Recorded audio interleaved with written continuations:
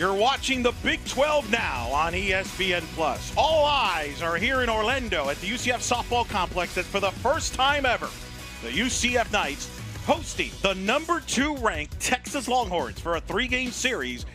She gets the start here. She got a no decision in that game in Clearwater. That was a game where both teams had to use a ton of pitching.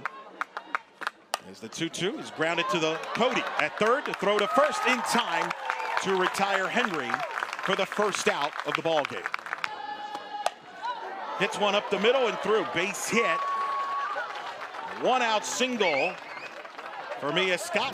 The Hatter maybe in a play that was a big opportunity for UCF to try to take advantage of a Uh, little misstep. And Mitchell draws the walk, so a single and a walk. All of that info that you just shared is the fact that going into the sophomore season, she's continued to find ways to be successful. She gets jammed here, pops it up. Aubrey Evans at second makes the catch towards the grass area. And out the offense he's had in his coaching career. So he didn't want to, he doesn't compare teams. As that one gets past Griffin. And Scott will, uh, both runners will advance now, second and third. So that's a big wild pitch he's had since at Texas. And that one is going to drop in for a hit. That's going to drive in Scott. It's an RBI single for Washington, and Texas jumps out in front with an early 1-0 lead.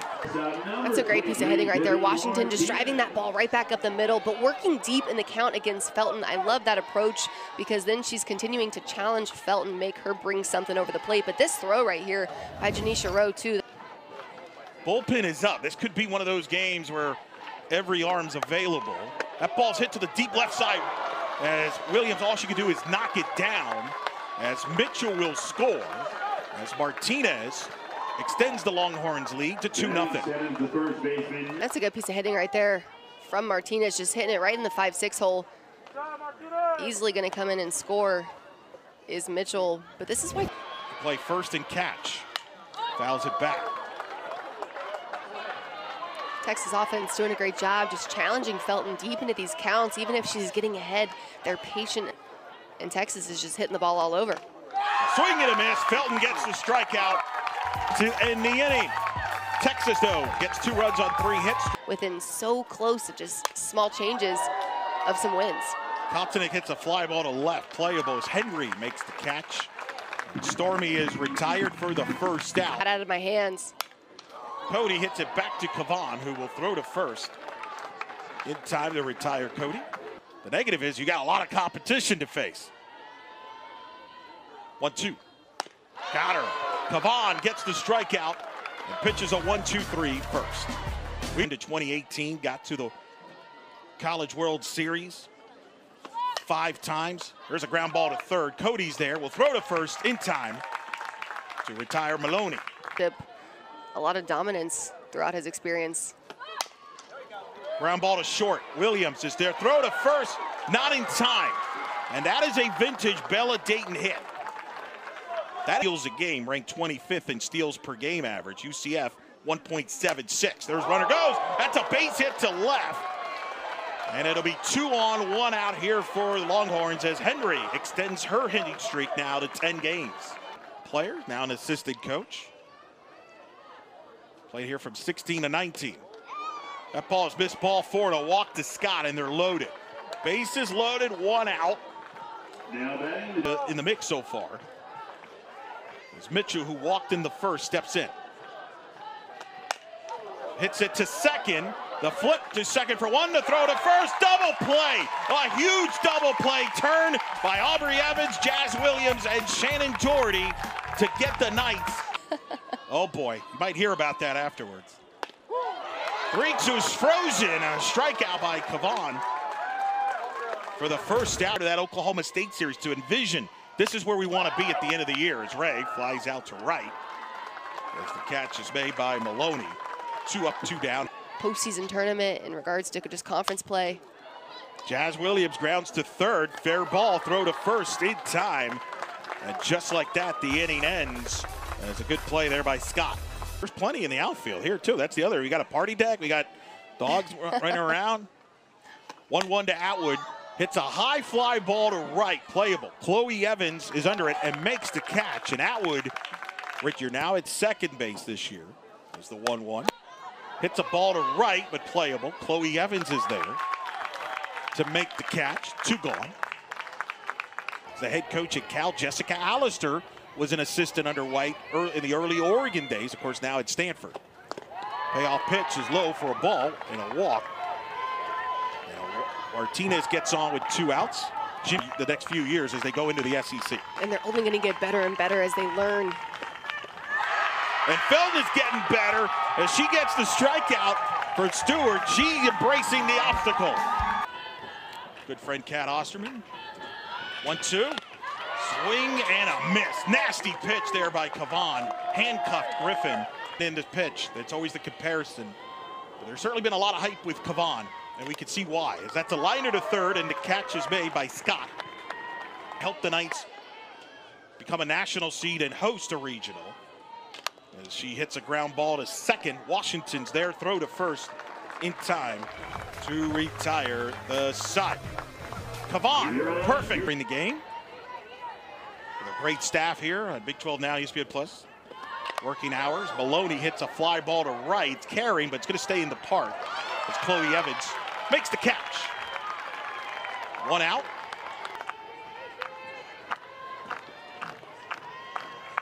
Payoff pitch from Felton. Ground ball to short, knocked down by Williams. Throw to first too high off the ricochet.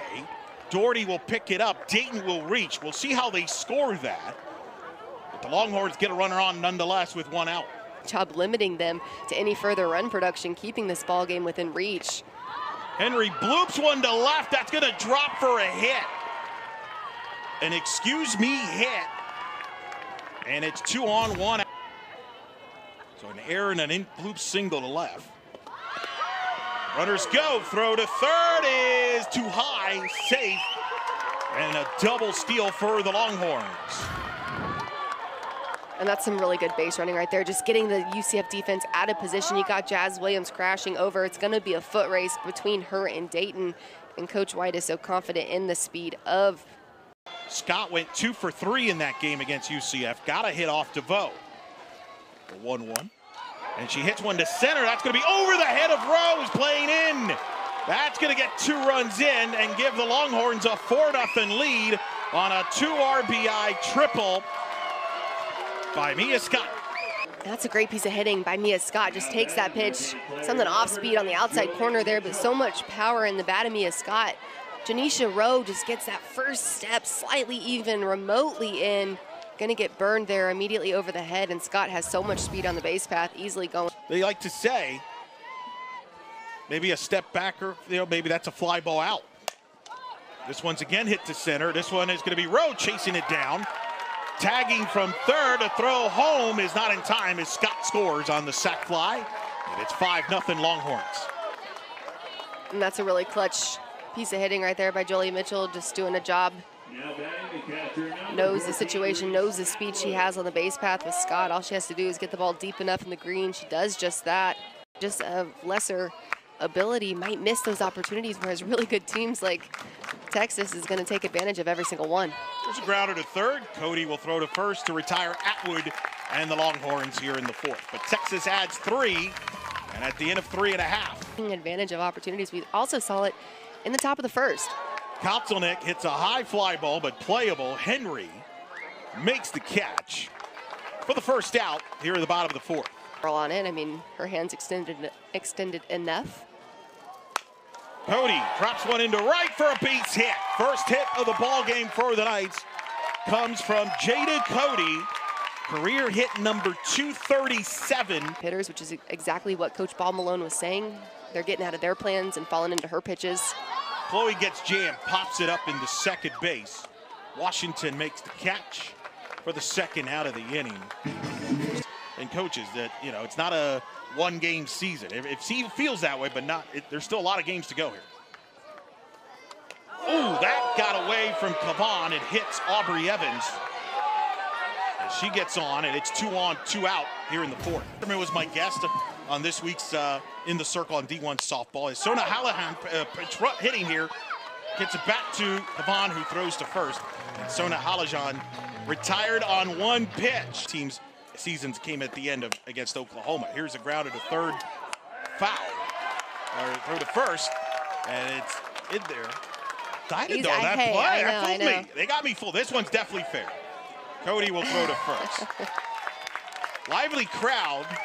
So he's 0 for 2 with two strikeouts. Gets jammed, pops it up to short.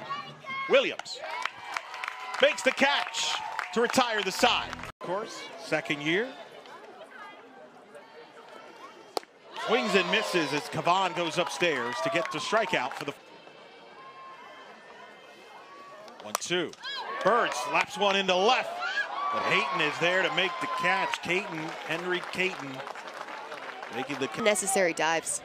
Here's Sarah Willis, as I foreshadowed, hitting here. Swings the first pitch, hits it to Kavan, who will throw to first to retire Willis and the Knights in order here in the fifth. A dog to be a third uh, in the booth here. I be a third, think it'd be a great add- idea. Expand on our broadcast booth here. Absolutely. We have dog days here at the Plex. Here's a comebacker off DeVoe's glove, and that'll be no play as Maloney, Ashton Maloney will reach. We'll see how they score that, but Maloney was two for two on the night. got her. Big strikeout for Cochran to record the strikeout. Longtime fan here of the softball program there in the outfield.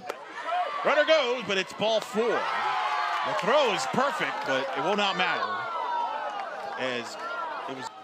So two on, one out for Scott. Who hits a comebacker to Cochran, who will throw to third for an out and get the lead runner out. Nice play by Cochran, the sophomore. Making the play here for the second out here in the sixth inning. 2-2 pitch. Got her! A strikeout for Caitlin Cochran, who comes out of the bullpen and shuts the door on the Longhorns. Wild in a good way, right? A lot of fun, but very supportive of their home squads. Shannon Doherty at the plate gets jammed, and that ball will drop in the infield. A throw to first, oh, in time. Heads up play by the Longhorns defense. Uh, Viv Martinez. There's a liner up the middle through. Base hit. One out single for Stormy Kotzelnick. Watching BYU play Texas in Austin as Cody gets jammed. Bloops one into right, and that play is not handled. And a throw to second is safe. And Cody gets on, and the Knights have two on, one out. And you know what they say, hitting is contagious. Jada Cody gets fisted on that one too, just taking it the other way, but finds success down the right field line. That was a great effort by Washington down the right field line, just unable to come up with it, but making the diving attempt there, is inside. If you can take that ball and hit it opposite field, it's a good day. Cody to left. A sliding catch is made by Dayton. He slides into that field turf and foul territory. Those are getting stronger defensively by the week as Aubrey Evans hits a deep fly ball to center, but playable as Henry makes the catch and ends the night runs with 11, matching her home run total from last year as a freshman. She swings, hits a fly ball to right. Chloe Evans is under it and makes the catch. And Atwood 0 for 4 now tonight. Was that hitter for UCF for the Texas lineup? Alyssa Washington gets hit by a pitch as Cochran goes inside. And Washington gets on.